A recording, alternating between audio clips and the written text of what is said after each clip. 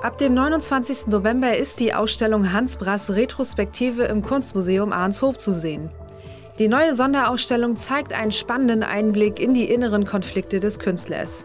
Der Berliner Maler und Grafiker kämpfte zeitlebens um Anerkennung seines unverwechselbaren Werks. Viele Jahre seines Lebens hat er zwischen Bodden und Ostsee verbracht.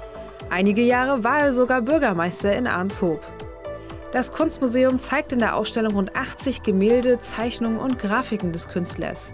Er gilt als Vertreter einer vergessenen Moderne.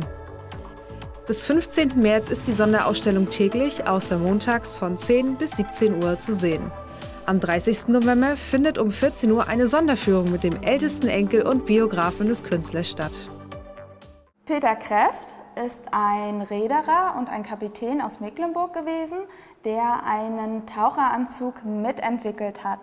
Der Taucheranzug wurde nicht von heute auf morgen erfunden und entwickelt und Peter Kräft hatte einen ganz besonderen Anteil daran.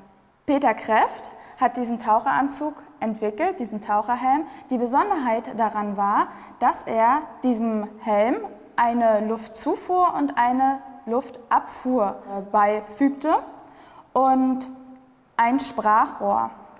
Der Helm besitzt ein Sprachrohr, womit man Kontakt zur Wasseroberfläche aufnehmen konnte.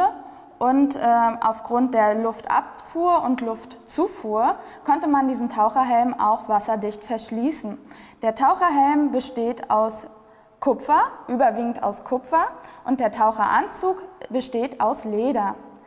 Dieser Taucheranzug wurde 1800 von Peter Kreft auch selbstständig vorgeführt und äh, er tauchte damit auf den Bater Bodden, auf dem Meeresgrund.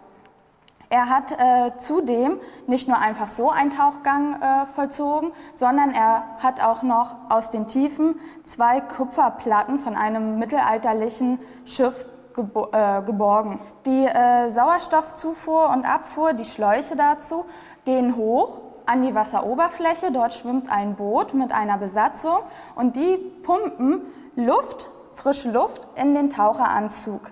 Und äh, die Abluft wird dann sozusagen mit einem Blasebalken herausgesogen, damit eine Luftzufuhr, ein frischer Luftstrom in den Taucheranzug oder in den Taucherhelm strömt.